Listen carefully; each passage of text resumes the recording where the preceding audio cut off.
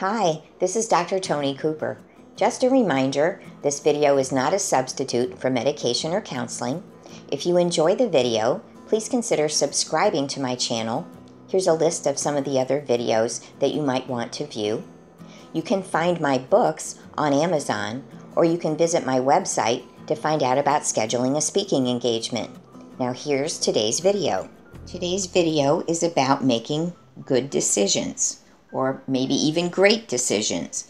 So, I'm going to share some practical strategies of how to get better at making good, great decisions, and then some spiritual strategies that are also available to help you as you navigate life. So, first, let's look at the practical strategies that help us make the best decisions possible.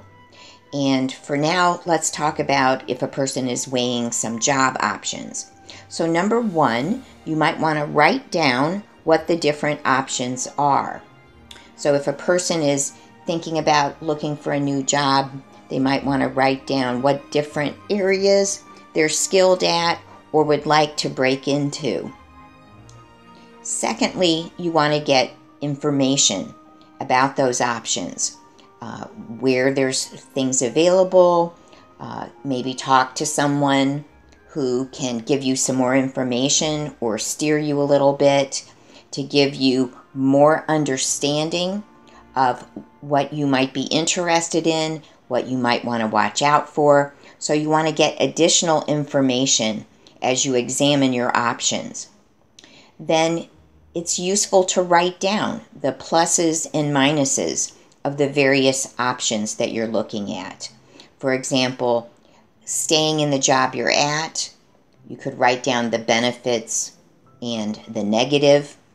Looking for a new job, you could write down again the benefits and the negatives, such as if you have to drive farther, um, if it's some skills that you're a little bit rusty at. So you want to weigh those the pluses and minuses of each option. Then you also want to make sure that you take time to weigh the options. If we make quick decisions out of fear or out of anger or just um, anxiety, that we don't make the best decisions when we're rushed. So, this is about making purchases. You might want to keep that in mind too. Uh, if you have if you don't have good sales resistance, keep asking for time. Uh, you also want to keep looking at are these options consistent with your goals, consistent with your values? If your goal is to make more money, but you're looking at a job that maybe is more fun, but not going to advance you, then maybe you want to keep looking. That's just a simple example. Or if it asks you to, to uh, take time away from family or relationships or demand a lot of travel, if that's inconsistent with your goals and values for this time in your life, then that will help you that will help you determine whether something is a good door for you to go through or whether maybe it's not a good fit for you. And I encourage people to be honest about their motives. Uh, when you've made similar decisions in the past what kinds of what kinds of things have you done that have turned out well? And what kinds of decisions have you done that have gone poorly? For example a simple idea is if you let someone else talk you into a decision there's a good chance you won't be happy with it in the long run. Another example is if you have made impulsive decisions based on something you wanted, like a purchase, and you regret it later or you can't afford it. So, if we're honest with ourselves about what kinds of patterns we've had in our decision making, um, that might help us do something a little bit different and maybe a little bit more effective as we navigate life. So, try to be honest with yourself about your motives for making a particular decision, making a particular change, or not making a particular change. If we tend to do the opposite of what a certain person tells us, even though they tend to be right, um, maybe you want to reevaluate that. And then um, think about how well you tolerate risk. Now, it's tricky because if you if we take absolutely no risks in life, there's really not going to be any growth. But if we take risks that are really not very calculated, not very practical, uh, then that can be sort of reckless. And so I don't think there's a magic formula for that. But if you're the kind of person who takes a lot of risks and tend to regret it, you might want to ratchet that back. Have somebody, you know, kind of help you with that. And if you tend to take no risks, then you're going to be bored and frustrated. And so we want to be very careful and reasonable in um, making some movement that hopefully most decisions we can reevaluate in a short amount of time. We're not stuck in that most decisions the rest of our lives. Most decisions are not irreversible, so that's good to remember. So, here are some of the principles to follow if you want spiritual assistance from God as you make decisions, for His wisdom and discernment as you make decisions. So, first of all, you still follow all the practical strategies that were mentioned before. You, you don't throw out your brain to get God's help. Uh, you still use it. But then, secondly, you want to lean into Jesus in your daily life. He says, My sheep hear my voice. And so we can actually learn to discern the voice of Jesus in our spirits. It's not weird or spooky, but as we cultivate our relationship with Jesus through reading the Word, through praying, we'll begin to sense impressions in our spirit that, for me, they're always better than what I would have come up with, and they're more creative than what I could come up with. Now, some people look for signs from God.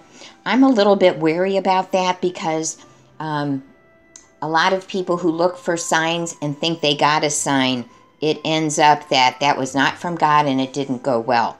And we are told in the Bible to test the spirits. So I'm not real big into signs. I think it's much more reasonable to cultivate your relationship with Jesus, read the Bible, and pray.